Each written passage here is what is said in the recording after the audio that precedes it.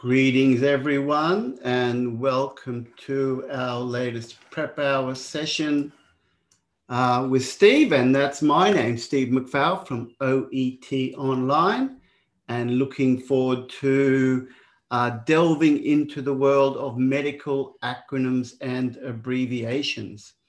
Now, it's just gone 5 p.m. on the 23rd of June, where I am, Brisbane on the east coast of Australia. So if I could get everyone to just type in a hello and um, we'll begin our communication. So I'm just going to type in, just type in your location and where you're located um, so we can share that. All right, just waiting for that to happen, everyone. I'll just say hello there. Lots of likes coming in. Thank you, everyone. Good to see those thumbs up. Hello, Fook. Welcome. Hello, Amber. Hello to London. Let's see what else we've got. I'm just setting up my information there. Greetings to the Philippines. Hello to Kerala. Monisha says, is the June 26th exam in Kerala cancelled? I wouldn't have the answer to that one for you, Monisha. You need to go to the OET Center website for that information. Hello to the UAE. Philippines is here, Sudan, Swaziland. Hello, Saudi Arabia and Algeria. Uh, hello there, Rehab, and a few familiar faces. Hello to Dhaka and Abu Dhabi. Good morning in the Maldives. I hope you're well. And Chennai is here. Hello to Nigeria. Great to see all you people. Hello to Bahrain. Good on you there in Bahrain. All right. Oh, thank you, Assad, for your compliments. Okay, well, lots of people in here, which is wonderful to see uh, I think we'll get started. And I'll be responding to your comments as we get going. Now, today's topic, everyone, is going to be medical acronyms and abbreviations. And it's an interesting topic because when you look at a set of medical case notes, um, you're going to see it, is, it says case notes. The word note short form. So you're going to get a lot of short form uh, that you've got to deal with on exam day. And I know it's um, a lot of confusion about when you can use acronyms and abbreviations and when you can't. So my goal today is, is to help ease some of those concerns um, and to expand your knowledge so that you can take on the exam with confidence let's get going. Uh, don't forget, uh, you can like us on our Facebook channels and YouTube channels. And I'll talk about this a bit later, but you can visit it, visit us at oetonline.net.au. That's our website, everyone. Okay, now to get started, the thing about acronyms is they're everywhere in our world. And sometimes we don't even know they're an acronym. Now, I can say warning, abbreviation acronyms ahead. That's what's coming up. Um, but hopefully, uh, it won't concern you too much when you get used to it. So here's a classic example the word laser. We all know what a laser is that red beam of light, um, but and it's used in medical surgery and those sorts of things. But actually, it was an acronym which means light amplification by stimulated emission of radiation. Who knew? But that's what it is. The laser show last night was amazing. Um, so, laser is an acronym that has just become a standard word. Acronyms have that power. SCUBA is another example. SCUBA stands for self contained underwater breathing apparatus developed uh, last century. Um, from but from the acronym, it just becomes standard um, part of our English language vocabulary. You need scuba gear to dive the deep wrecks off the coast. Now, when we start getting a bit medical, we've got words like AIDS, and we know that's acquired immunodeficiency syndrome, but commonly we'll write it as he tested positive for AIDS. So we use the acronym, it's standard. We got this one, the PIN and ATM. Um, PIN, personal identification number, your PIN. Next time someone asks you for your PIN, you know what it stands for. And we go to an ATM, an automatic teller machine. So you'll need your PIN to use your bank card at the ATM. So we're going to use those acronyms. And the last one, TLC. We all like a little bit of TLC. I'm going to ask you, who can tell me what TLC stands for? Type it in once you know. What does TLC stand for?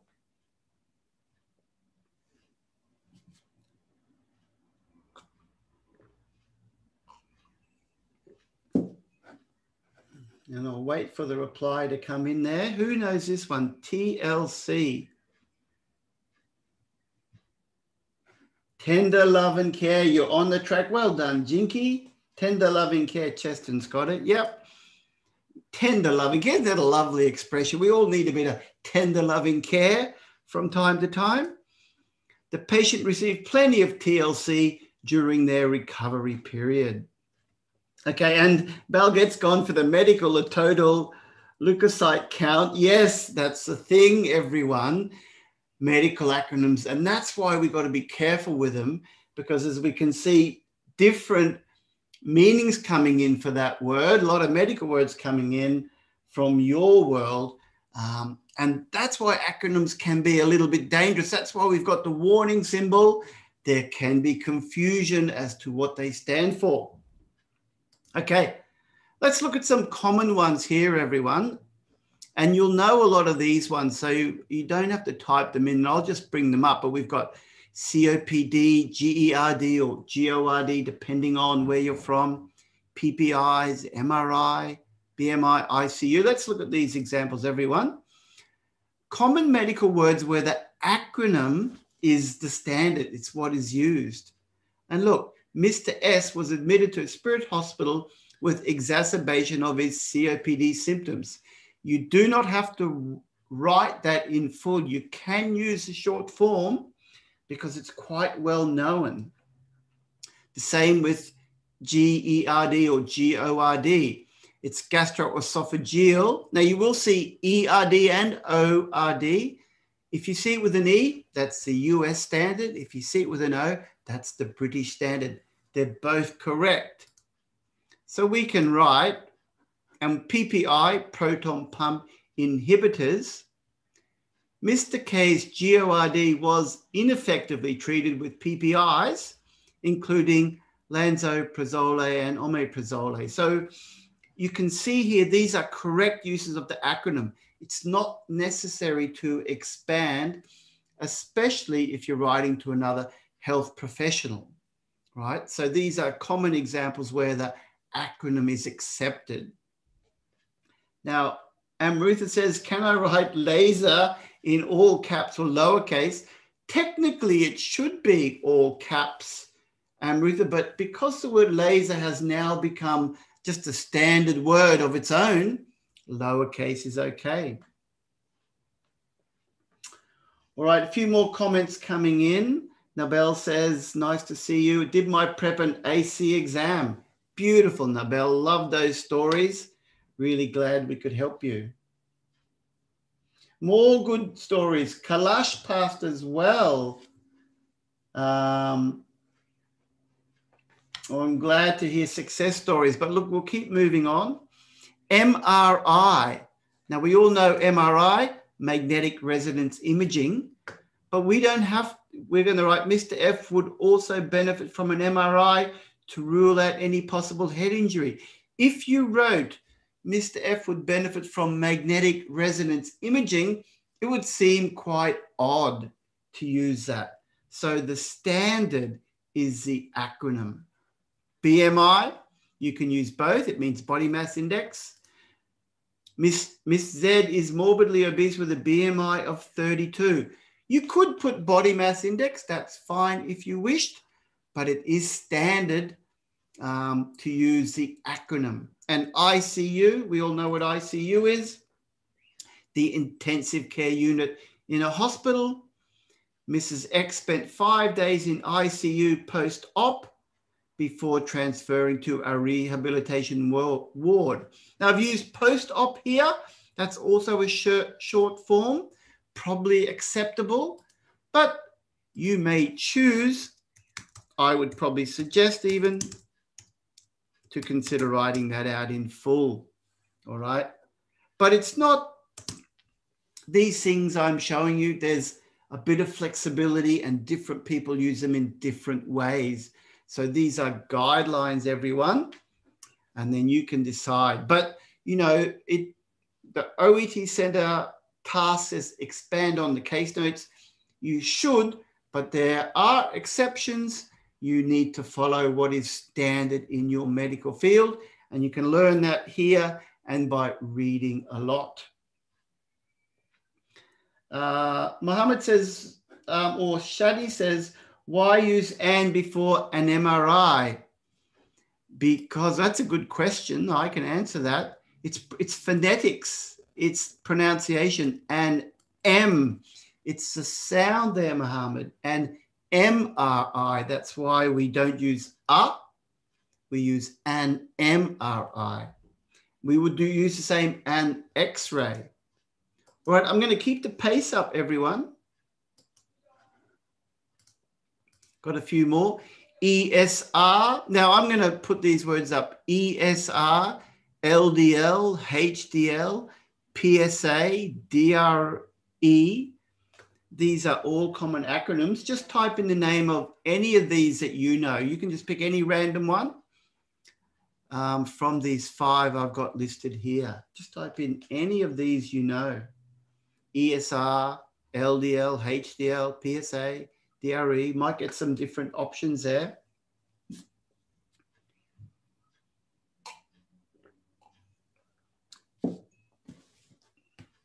Right, while I'm waiting for a few of those to come in, there we go. We got, they're all really long, aren't they? Thank you, Arokia, the erythrocyte sediment rate. Um, and I can give you an example but we wouldn't really need to write this. It's too long. And, you know, it's pathology. An ESR test measures how quickly blood cells settle to the bottom of a test tube and indicate levels of inflammation or infection. So you wouldn't need to write that pathology, that level of scientific detail. We've got low density lipoproteins. Yep, high density lipoproteins. And we could write this while LDL levels were within normal range, HDLs with the apostrophe were elevated. That apostrophe indicates it's a short form, HDL levels. So it is possible to use short form here. Um, what else have we got coming in from the audience? Prostate specific antigen. Thank you, thank you, Bashkar there. And DRE, is anyone going to come up with that one? E for examination.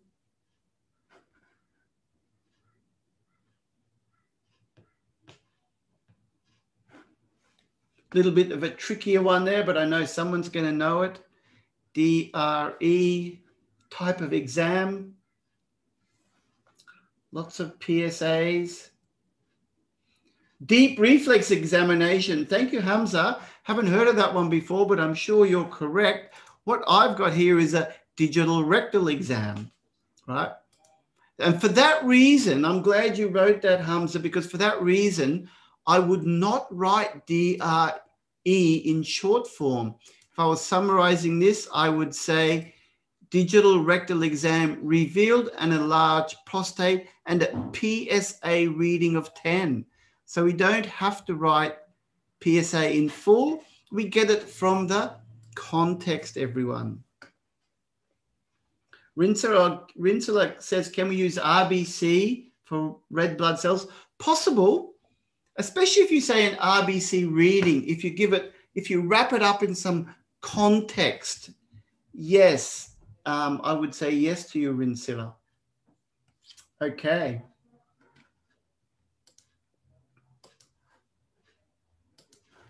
Now let's move on. Now, so those examples I just gave you are examples where the acronym is acceptable, right? No problem whatsoever.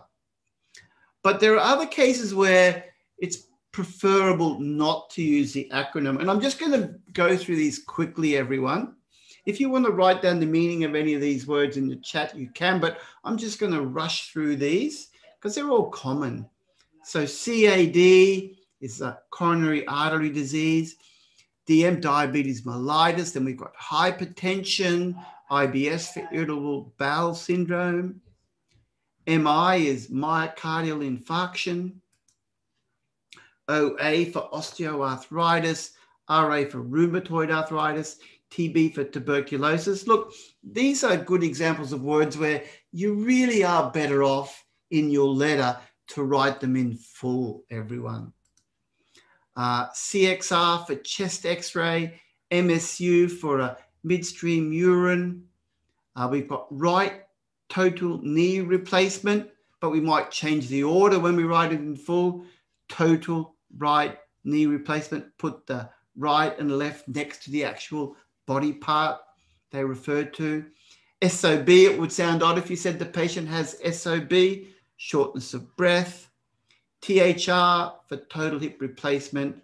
And US, two ways of writing that, one with a slash, ultrasound. Now, these are examples, everyone, where you really want to be writing it in full on exam. And a few more examples. So what we were looking at there was procedures. Now let's look at a few examples of assessment and findings. ADL, uh, that's a common one. A lot of people love to use that in note form. I'm sure nurses talking together on the ward, you're always talking about ADLs when you're doing your handovers, but I would advise when you in your letter to write it in full. We've got other ones here.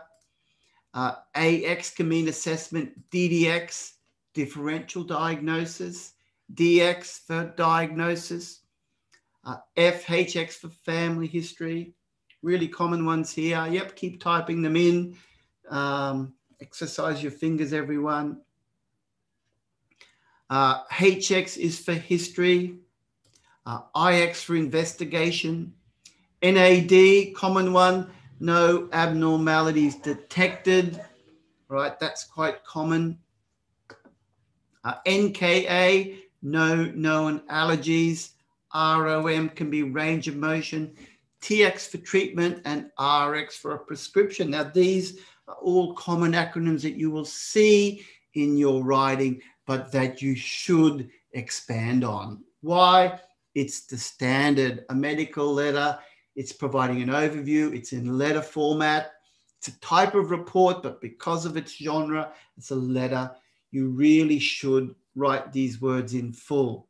As your task says, expand on the case notes.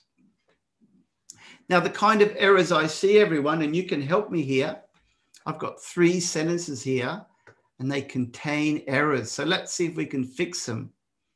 And um, you can fix anyone you like, everyone. So you can even jump ahead if you wish. But look, Mrs. D requires assistance with ADLs right? I would honestly avoid writing like that. I'd suggest you find another way. Get creative, everyone. How could you um, expand on that? Mrs. D requires assistance with ADLs.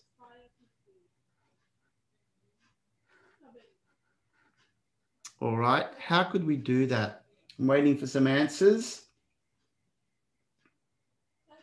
Hussein wrote activity of daily living. Well, you've got to be careful. It's got to be plurals.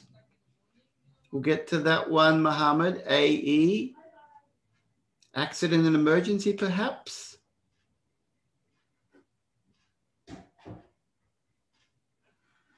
Mrs. D requires assistance with activities of daily living. And I've used it, I've done it differently.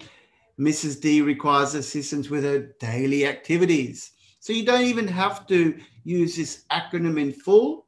A lot of people saying activity of daily living, but you really should pluralize activities. Nice one, Razor.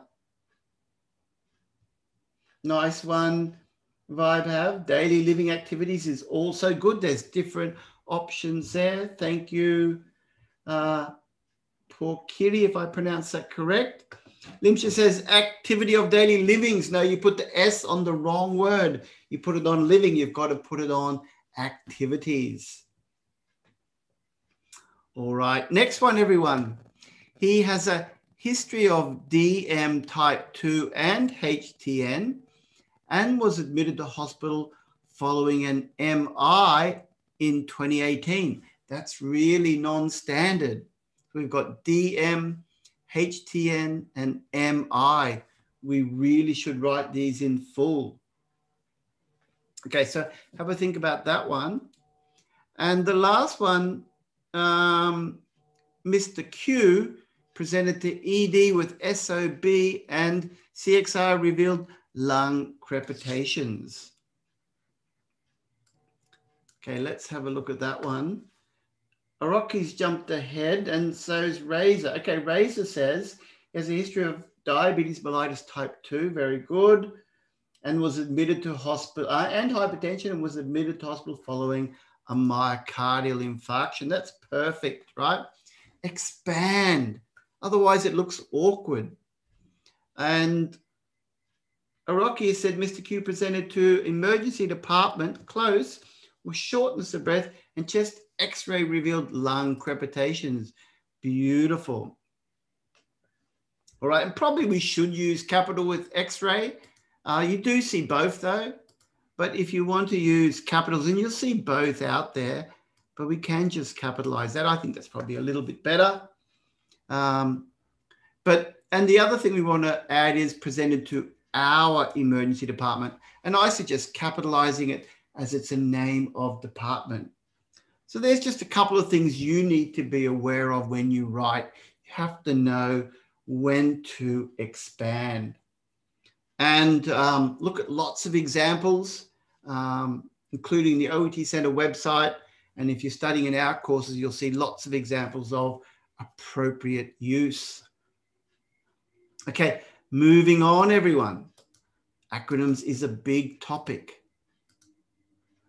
Now, when it comes to medication, um, you're studying um, uh, a subject that goes all the way back in history to Greek history and Latin history. So that's a, a beauty of uh, medical writing. It's got the origins in ancient Greece and um, in the Latin language in Rome. We go all the way back to Hippocrates and that you'll see lots of this in your exam. But guess what? It's not a test of your Latin knowledge, right? It's not a test of your Greek, it's a test of your English. So let's have a little bit of a look about some of the pitfalls associated with the short, the abbreviation, and the expanded. Um, but I'll tell you this the short form can be used in your writing if you're writing to another health professional who would be familiar with that terminology. So you can use it in your letter. But if you're writing to a member of the public, then I would avoid that. Okay, here we go. BD, twice a day. CAP, capsule. IM, intramuscular. You can type in any of these. Thank you. Um, Haprajot. Any ones you know here, you can type them in. We've got INJ, IV, nil. That's Latin, everyone. Mane, nocte, these are Latin. OTC is not, PCA is not. PRN, that's Latin. Uh, QID, and these often have Latin origins. RPT, SC, STAT, TAB, TDS, there's some Latin for us. Turdi, sumendum, and Vit. All right, I can see lots of expansions coming in. Well done, everyone. See lots of correct versions. Injection, intravenous. Now, nil means no or none. So don't use nil in your writing. Mane is in the morning. Nocte at night. Shilpa tells us OTC is over the counter. PCA, did we get any short form for PCA? Well done. We've got um, well done again. Harprajot, patient controlled analgesia. That click, click, click. Um, PR, pulse, uh, per rectum, but could also mean pulse rate. But we're talking about medication here. Um, PRN. Now, the Latin is actually pro renata, but it means as required or when needed, if required. All of those are correct. Um, QID. Thank you for those who put in four times a day. And RPT means repeat, repeat of the script. SC, did we get answers for that one? Uh, not subconsciously, Mohammed. I suppose in some circumstances, maybe it could, but I haven't seen it. But it could, but in this case, subcutaneous. Because we're talking about medication. What about stat? What have we got for stat, everyone?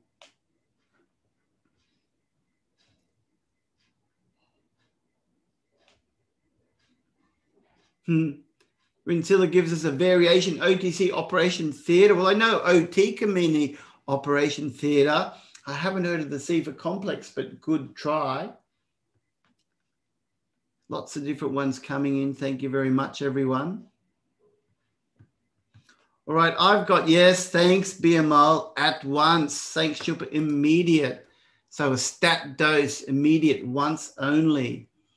Tab, of course, tablet TDS, we've got three times a day, and Vit for vitamin. Now, the beauty is this the all this information is instinctive to you, which is wonderful. And that's why you're doing OET and not other exams, because you're in your professional area. The beauty of OET, everyone. Um, but you do need to know when to write it in full because it's a writing test. So here's an example, everyone a referral to another health professional. Now, this might surprise you, but I'll read this. His prescribed medications include um, gliclazide 60 mg and aspirin 100 mg in the morning, metoprolol 25, 125 mg twice a day, and atorvastatin 40 milligram at night, and ibuprofen as required. You might wonder that that's perfectly good English. Perfectly good English. Um, but I would suggest if you're writing to another health professional, use the Latin here 100 milligram mane, BD, nocte, PRN. Do you agree, everyone? I think the right hand side is actually more professional, right? I'm not saying you'd lose marks for writing it on the left, but it would seem a little bit long winded to write like that if you're writing to a doctor or a nurse or someone you know will be very comfortable with the Latin terms. However, if you're writing to a patient, use this, right? That's the key point here. Know your audience, everyone, is what I'm telling you here. Know your audience. All right. So that's how you make a decision. Okay. Um, suitable,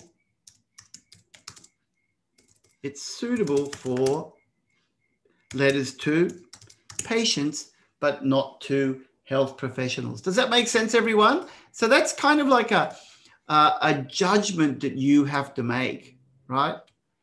And the second one, suitable for health professionals. So that's a decision that you're going to have to make on exam. You're going to have to base it on the situation, and you're going to have to use your common sense. Okay, I hope that's clear, everyone. And the next one here Mr. V reported nil allergies. All right. Mr. V has no known allergies. Thank you, Harper, if I pronounce that relatively correctly. You don't want to use nil. Nil is not good. We really want to say reported no history of allergies, no known allergies. All of those are correct. But nil, I would advise against because it's not really English, it's Latin. All right, moving on, everyone. Got a bit more to do. Now, the other thing you'll see when you're looking at case notes, um, these we've been looking a lot of acronyms and some abbreviations. Now we're going to look at more abbreviations, like and just the short form of the word.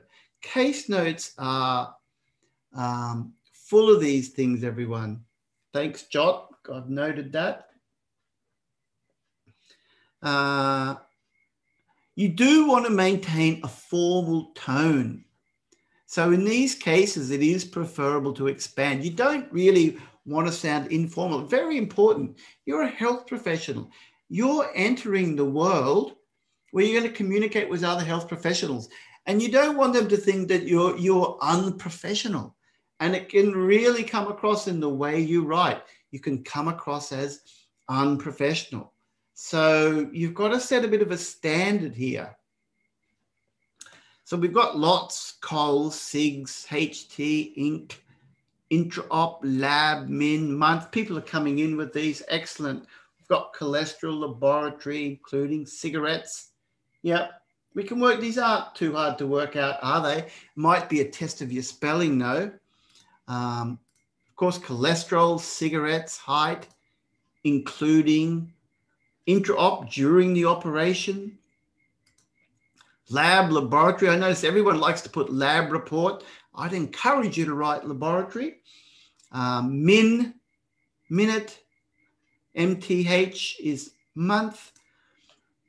Okay, some more, everyone. Have a look at these ones. Post-op, pre-op, PT, um, RV, vitals, bloods, weight, or YRS versus YO. Lots of great examples coming in from the audience. Thank you, everyone.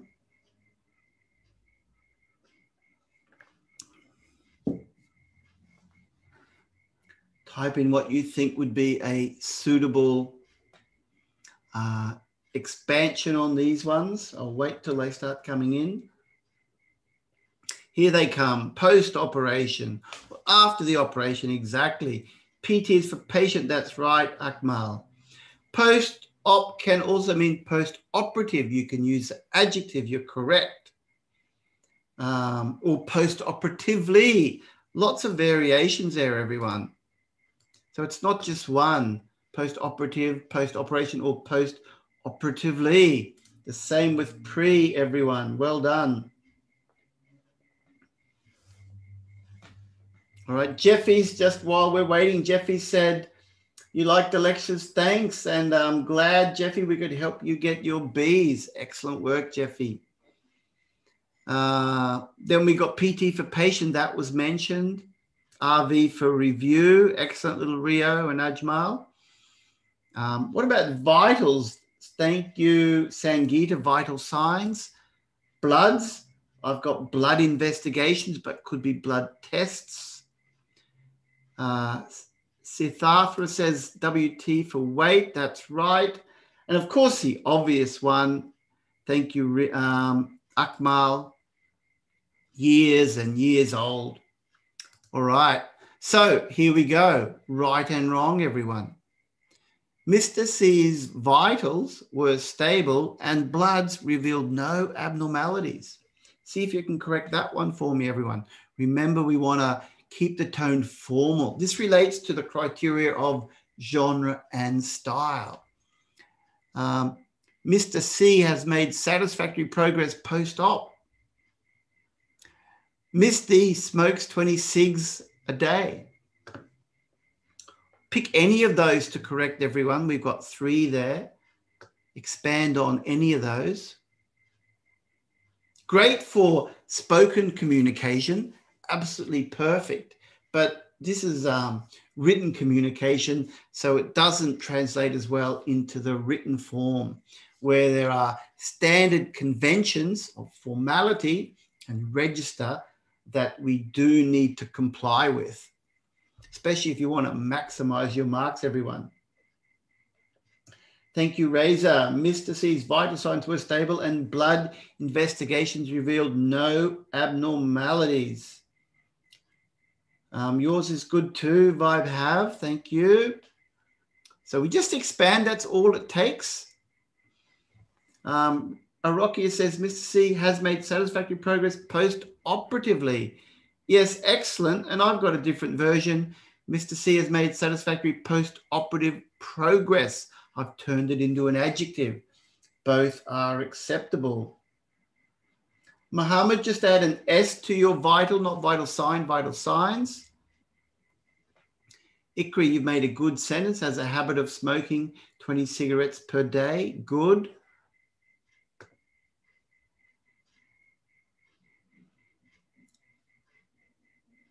Um, just watch your vitals there, Felicia. You really want to expand on that. And Miss D smokes 20 cigarettes per day. You need to expand on that as well. Well done, everyone. Question coming through from Abu Raya. It says, if we were given a disease and case notes given it again in abbreviation, can we mention abbreviation in letter, especially if it's a long disease name? I think yes. I think you can. Um, you can do that. Um, and you can even use um, a technique in your own writing where you could say, you know, um, something like this to answer your question there. You could say, let's just bring it up. Mr. D um, has a history of And you could actually write it out in full. Multiple sclerosis. And then you could put in brackets yourself, excuse me. you could put MS here, the acronym, right? So you could do that. And then later on in your writing, um, following medication. Um, and then you could put, you could use MS or um, you could use it later on. Um, um, or no, you could be, you could do this. Mr. D attends an MS support group. So that is a bit of a, a way to, you identify the acronym in the previous sentence. And when you mention it again, you don't have to write it in full. So you do have that option, uh, everyone. So you've got to make some judgments and decisions, but there are ways to deal with this. All right, I'll make that a bit clearer for everyone. We'll go for blue. And we'll bump up the size, everyone.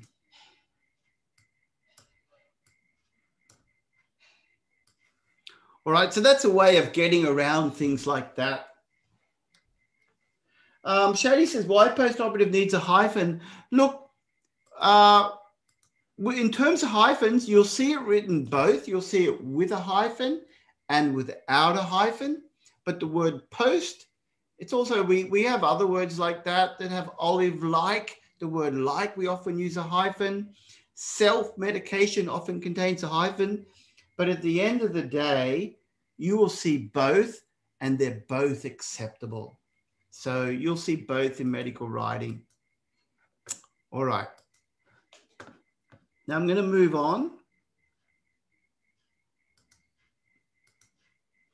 Now measurements. What about in the lab? Oh my God, OMG. There's some incredibly long winded words out of the medical lab. Um, uh, incredibly long. So we probably want to avoid some of these. So we got BUN. Just type in any of these you know, everyone. Um, we're talking about measurements here. Any of these that you may be aware of.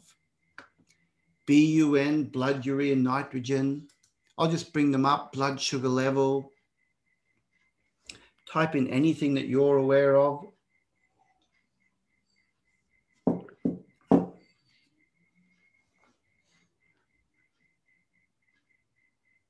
Lots of. Culture and sensitivity. Thank you, Cheston. Um, millimeter is there G for gram. What about HbA1c? That is a very long one, everyone. You wouldn't want to write that one out in full, would you? Hemoglobin, and I've got glycosylated hemoglobin. Yep, Thank you, Ajmal. But the standard is HbA1c. Um, yep, we've got other ones coming through heart rate, millimeter, uh, units per liter for UL, um, mm for millimeter. Lots of other ones we've got. What about mmHg? Has that one come in yet? Millimeter mercury. There we go. Well done. Millimeter of mercury. Thank you, Razor. Um, and then what about millimole? Millimole per liter. Would be unusual to write these ones in full.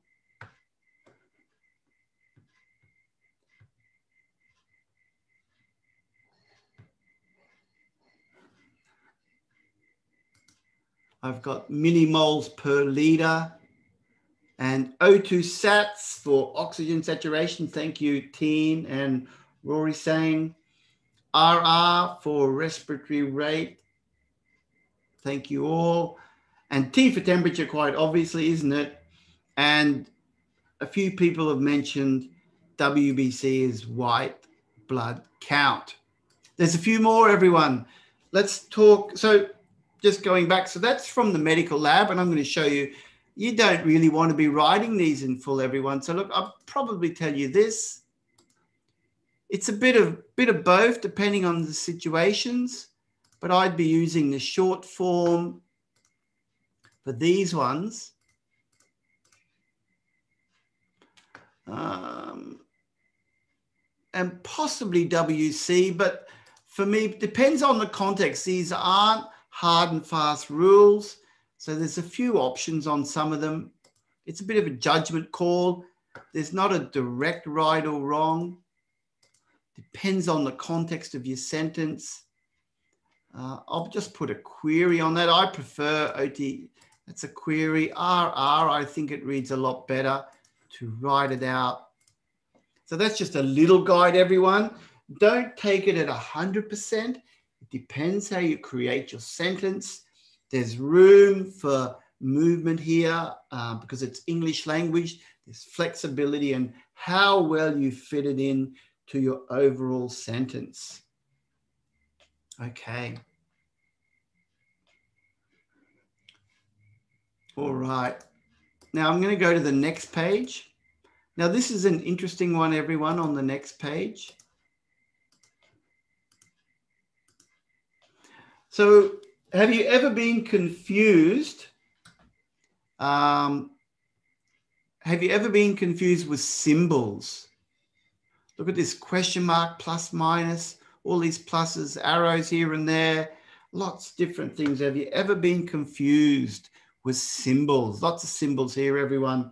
And while I'm waiting for you to tell me the meaning, pick anyone you like, everyone, and type it in. And while I'm waiting for that, I'll answer Dan Dan Rajan says blood works. I think the standard is blood workup, Dan. Blood workup indicated. I think that's very common. I see that a lot, um, particularly in um, US style writing as well, or laboratory workup, blood workup, because you can use, you know, what's in your medical word in your world. So yes, the question. It can mean something is doubtful, possible, questionable, perhaps a query. Um, that's a question mark. Very, very common. Suspected is correct. Excellent. The plus minus is a bit of a tricky one, everyone. If you don't know the plus, thank you, Sajitra, with or without. And then we've got all these pluses. Yes, Srikati is telling us it's increase. Positive, it can mean positive. But have a look, everyone. One is a slight trace. The standard is trace, just traces. Triple or three pluses is a moderate trace. And five here is a large trace. So these relate to traces, don't they? And you will see this in the case notes. Arrow up obviously means increase, arrow down, decrease. Someone mentioned before that hash symbol means fracture. And then we've got all these tick marks. You'll see a lot of tick marks. So OBS, tick, circulation, tick, pathology, tick bloods. I guess we're talking about within normal limits here. Arrow across, it could be leading to something or causing something, or could be the reason. And you're going to see times with the cross symbol there or per, four times per day. And you get a slash meaning per. Common symbols in OET, everyone. All right, now we've done that. Let's write some sentences, everyone. And you can write any of these you like. I've got four examples, everyone. You pick any one to write that you like. And I'll just read them out and then we'll see how we can summarize them. Some of these are quite difficult. Um, so you have an opportunity to expand. We've got the note form, but we want to expand. I'll give you a gap fill to make it easier, but you've got to expand. Let's do the first one. I've um, set this up a bit easier. So we've got urine dipstick, triple protein, double nitrite, and we've got blood. Her urine dipstick test showed what sort of levels what sort of levels? Have a think about that. We've got of protein and nitrate. Yep, abs for antibiotics, that's a good one.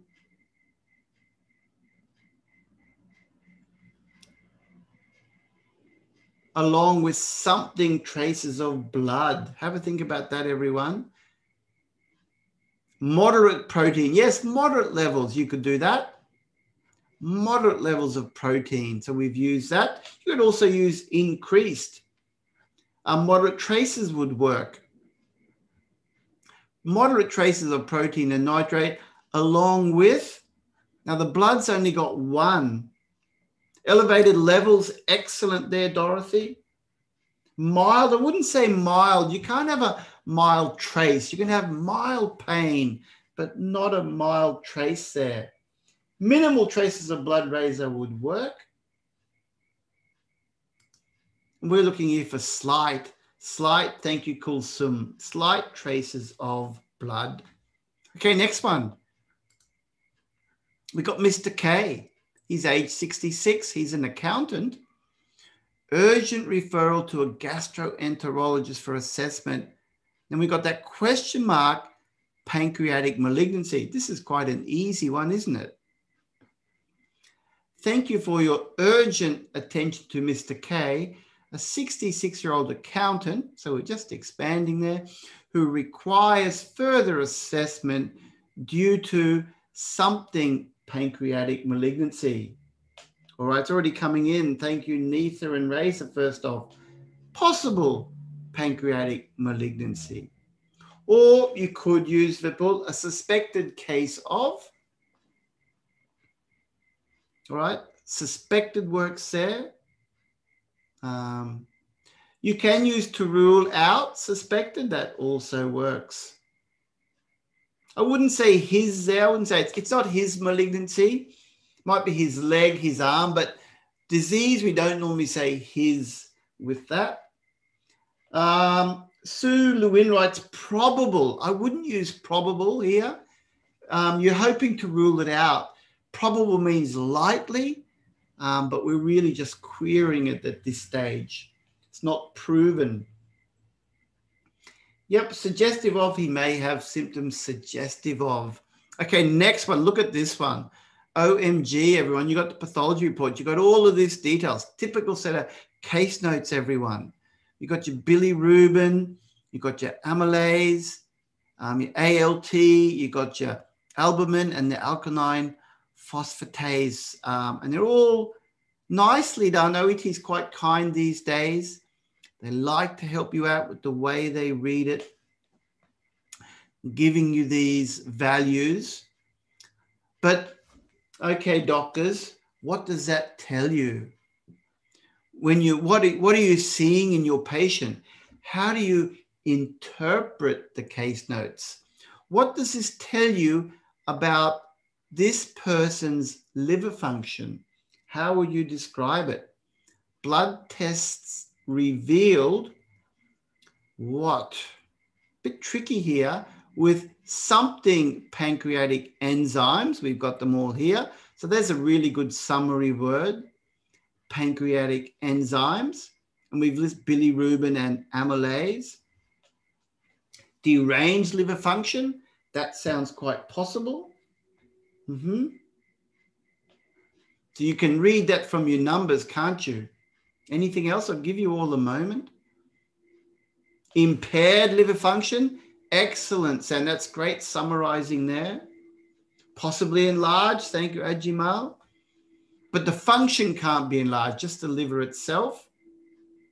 Disturbed, not disturbance there, Maison. All right, so lots of options coming in.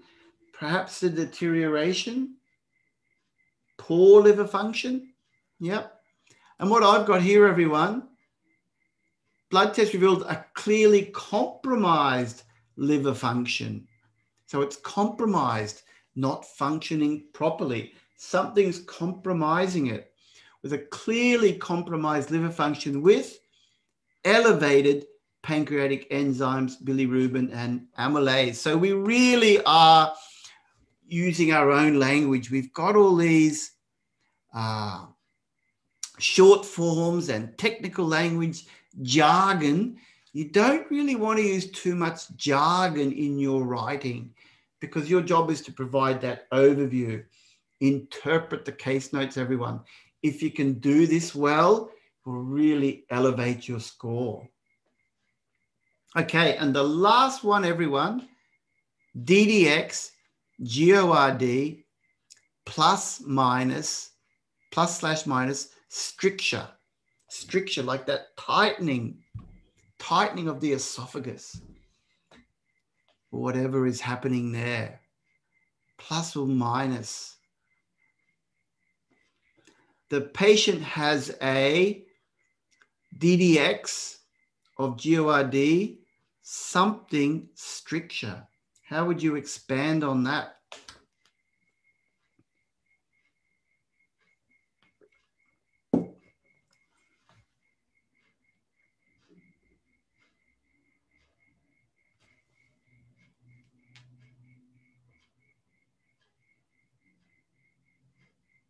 Now, while I'm waiting, Raj Kumar says, can we use reveal instead of reveal? Yeah, we don't have any time relationship in this sentence, so it's just an example. Yep, lots of answers coming in. Differential diagnosis. The patient has a differential diagnosis of, don't put DDX, a differential or provisional diagnosis of GORD with or without. I wouldn't put with or without when you um, paraphrase that. I would just use with, with possible stricture with the possibility of would work as well. Because that someone mentioned it before, but this plus minus, you're not sure. It could be, maybe, maybe not. It's a little bit like the question mark symbol. All right. Okay, and that's done, everyone. Okay, now I'm just going to do a bit of fun now. We're, we're moving on now. Just some other acronyms, and I want to test your knowledge and you can tell anyone you like, everyone. I've got six acronyms on this page. This is just for a bit of fun. See how many of these you know. Uh, and I've got some symbols to go with them, some images to guide you. Um, so we've got this BBA. Can you guess? Bit hard, bit cryptic BBA, um, but it's talking about a baby. All right, then we got DOA. Look at that um, reading there, flatlining. MVA, I think that's self explanatory. Um, BIBA, what happened there? FTA, look at the calendar. And this is a bit of a trick, everyone. Llama, we got the animal llama, but that's not what it means. Oh, nice, Nithu, you're getting it. Yes. And we've got MVA. Oh, nice, Dan, born before arrival. There it is. DOA, date of admission. It could be, but I'm going with Hussein, dead on arrival. That's why you probably won't see these ones like that necessarily on your case notes. Um, but MVA, you will. Motor vehicle accident. Thank you, Rena. Brought and Siddhartha brought in by ambulance. What about FTA? Has anyone picked up what FTA is? Not yet. Yep, we've got leave against medical advice. People know LAMA, but no one's getting FTA. Something to do with, um, it's got something to do with an appointment. Really common for dentists. Jot, not death, dead on arrival. Full-time attender, good guess there, Vipul. You're close here, 10 part is correct. I've seen this one quite a lot. When someone doesn't show up for their appointment, everyone, for the attention, nice try, K. Full-time attender, I suppose that's possible. Yay, Chele, I'll give you a clap failed to attend, didn't attend the appointment. I'm sure you've seen that before. FTA, a no show. And LAMA left against medical advice. Your patient has left the building despite your advice. Okay. Uh, I think OET is pretty good. They're not going to really, they're not trying to test too much your knowledge here, more about expanding. So you will be able to, um, they will um, be kind to you. A couple more, everyone, to wrap it up. NBM, OD, OE, and SOBOE. See if you can figure these ones out for me, everyone. NBM. The images tell it all. SOBOE could be a little bit tricky. Have a think about that.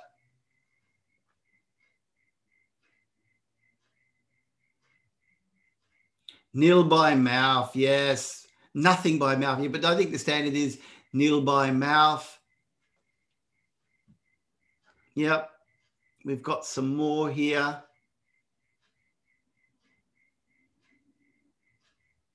On examination, yes, that's one. Or OD could be once a day, but we're wanting it to mean something else. I think there's lots of lots of pills here. Maybe I don't have enough. Imagine there's a hundred pills. Overdose, thank you. Bye, Bev. Thank you. Uh, oh, nice. Arokia shortness of breath on exertion. Yep. And OE on examination. Okay. Good to know some of these acronyms, everyone. Common medical acronyms. And look, my advice look, get out there, look at the region where you want to work. You'll find lots of stuff online. If you Google it, you'll find lots of examples of common medical acronyms for your region. And very good to be prepare yourself for the exam by getting familiar with common acronyms and then the rest of it will be based on context. We've seen today there's several acronyms that have multiple correct meanings. So it's all about the context, everyone. Okay, And we're done. Look at that. One hour, everyone. We are up. Now, we do all sorts of stuff like this in our classes, and we do a lot more paraphrasing. So, if you are interested in studying with us, come along to oetonline.net.au. We do have our twice daily live and interactive classes. It's where you'll find me on a regular basis. Um, plus, we've got our expert OET teachers that are they're dedicated to helping you achieve success. And just remember, regardless of your profession, OET Online, we cover all professions. Why? Because, of course, we do nurses and medicine, they're the, the big fields. But if you're a dentist or a dietitian, a pharmacist, a physiotherapist, or any of the professions listed here, an OT, a radiographer, a vet, a speech pathologist, a podiatrist, or an optometrist, we've got a course for you. Uh, so we can help you. Thanks for all that. Um, positive responses. Now, if you do want to, we do offer a free trial course. Don't forget that, everyone. And I will give you a direct link to that. If you are interested in just checking out what we do, um, I'll just show you how to do it here, everyone. Come to our website. And this is the um, page link, everyone. I'm just going to drop it in the chat. Check this out. That's where you can create an account if you're interested in seeing what we do. Come along to an orientation, check it out. If you think it will help you, like it's helped many people, um, that's where you go. Now, I've got some news for you, everyone. Look at this. Uh, something new, everyone, something a bit different. Um, coming soon, Prep Hour with Catherine. Now, there's been a lot of demand for some speaking prep hours. So, Catherine is one of OET Online's expert tutors, and she is brilliant, I can tell you, with her uh, speaking classes. So, we're going to alternate Catherine and I. So we're going to go uh, one session with Catherine, one session with me. So um, I know you're going to love Catherine's session. Uh, that's coming up in one month's time. Keep your eye on the relevant media channels for information, and you will get Prep Hour with Catherine. And then I will be back the following month, everyone. How does that sound? I think you're going to enjoy that one. Bit of variety, see a different face as well. But that doesn't mean I'm going away. I will be back the following month. All right, so that's exciting, everyone. Meet a new teacher, a new online teacher. Okay, if you need more information about our uh, about us, feel free to drop us an email at info at oetonline.net.au um, and you can always visit our website. Right, the last thing I'm going to show you to wrap this up, everyone. Got one last thing I wanted to share with you.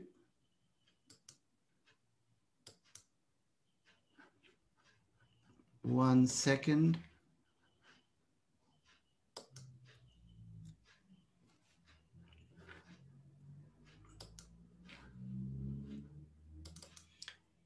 Now, this is our Facebook page, everyone. And if you come along here, you'll see some great stuff. I just wanted to share. Uh, look, we put lots of success stories up, everyone.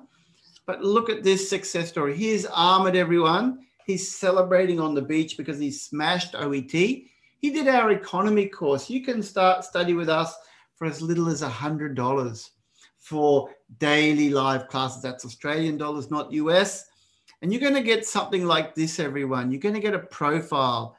These are the number of hits on our pages every day. That's hard work, study. And um, this is Ahmed. He's a doctor from the UK. Well, he's from Oman. He did the economy, he studied over three months, regular attendance for reading and listening. Uh, and then he succeeded and he got uh, his desired score, everyone. So that's a real success story. Um, so come to our Facebook page, check it out, check out all the success stories for some inspiration or inspo, as they say for short, and um, we can help you succeed as well. All right, everyone, I'll just, um, that's our Facebook page. So great session, everyone. Thank you for your brilliant attendance. Um, look forward to seeing you in the next session that I run and um, study hard and wishing you a good result on your next attempt. Bye for now.